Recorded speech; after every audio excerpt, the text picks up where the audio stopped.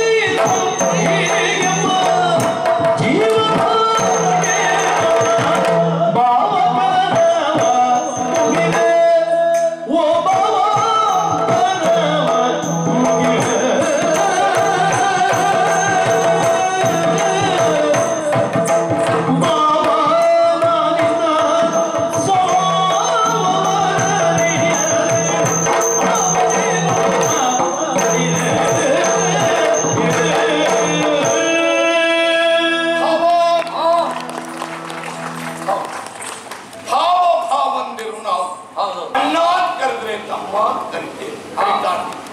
ಮಾಮಾತ್ ಕರೆದ್ರೆ ಅಯ್ಯೋ ಕರೀತಾರೆ